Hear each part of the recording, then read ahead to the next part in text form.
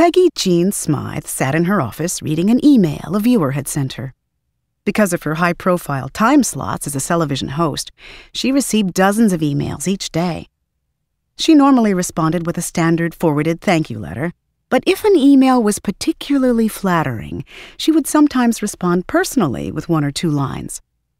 The reason viewers loved Peggy Jean was because they could relate to her. She often spoke of her three boys, four if you count my hobby. She was a working mom and a good Christian woman who often hosted Jewelry of Faith programs, which featured crucifix cufflinks and Star of David money clips, both of which she presented with equal pride. She was attractive, blonde hair worn in a short but full style, blue eyes, fair skin. Her roundish face seemed approachable and trustworthy. She was highly polished, yet friendly and accessible. Peggy Jean knew all of this to be true because she had seen the consumer research. In fact, she had personally attended many of the focus groups. Peggy Jean, did you hear? About Max, I mean. Amanda asked, standing in Peggy Jean's doorway. Peggy Jean turned dramatically in her chair to face the young woman. Of course, I heard. And I think it's exactly the right thing to do. You don't think it's a little too severe? I mean, just dropping him like that? asked the associate producer.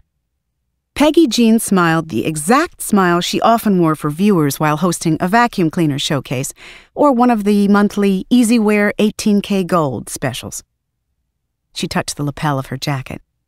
Well, of course, I'm sorry for Max, as I would be for any human being facing an adverse situation. But when God closes a door, Amanda, he opens a window. Peggy Jean looked up at the suspended ceiling. He must have other plans in store for our Max. Then the smile was gone. And now, Amanda, if you don't mind, I have an awful lot to do. Amanda shrugged. Sure, I understand. I didn't mean to disturb you. Peggy Jean returned her attention to the computer screen, listening to make sure Amanda actually had left. Then, almost biting the tip of her manicure, but stopping herself, Peggy Jean read the alarming email for the third time. To PG underscore Smythe at Sellevision.com. From Zoe at ProviderNet.com. Subject Hi there. Hi, Peggy Jean. How exciting to be able to write to you. I am a loyal television fan and have ordered everything from crock pots to jewelry. I'm so pleased with the quality of the countless items I have purchased from Sellevision. Peggy Jean, my ears always perk up when I hear your voice on Sellevision. You are my favorite host. You are so professional and friendly, and I just love your hair. Speaking of hair, I just wanted to tell you this woman to woman. Peggy Jean, I have noticed many times in close up pictures how very hairy your earlobes are. When I first noticed, it was a bit of a shock to see a beautiful earring on your ear surrounded by all those hairs, which on my large screen TV were each almost the size of a Vienna sausage. I wonder if you have considered using the Lady Songbird waxing hair removal system that I've seen on television. It seems a painless, quick, and easy way for you to be even more beautiful than you already are. I bumped into, really, my friend Susan at the supermarket, and we got to talking, you know, just catch up stuff.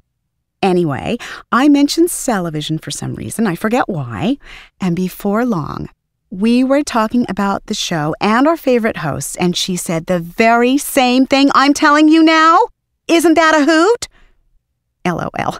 She said, She's a very hairy lady. We both had a good chuckle out of it, but please understand it wasn't a chuckle at you personally. Well, I've talked on and on, so I'll stop here. May God bless you and your family, and you have my very best wishes. Your friend, Zoe. Smile.